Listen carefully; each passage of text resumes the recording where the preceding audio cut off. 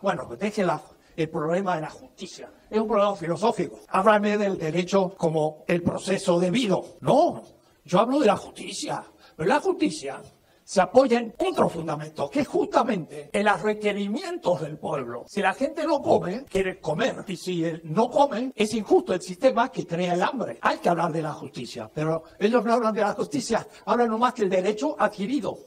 Lo que pasa es que es injusto una persona que gana 600 mil pesos en un país en donde la mayoría no llega a 10 mil. Ah, no, pero es un problema de justicia. Sí, señor, este es el tema. Pero la Suprema Corte habla del derecho. Ha fetichizado al derecho. Y me gustaría hablar con ellos y los puedo destruir todos los argumentos con una teoría. Y lo vamos a replantear. Cuando usted no puede decir que es justo, porque si no me puedo corromper. Entonces, ¿usted cree que la única manera de no corromperse es recibir un sueldazo? Ya está corrompido y te contradices en lo que venga.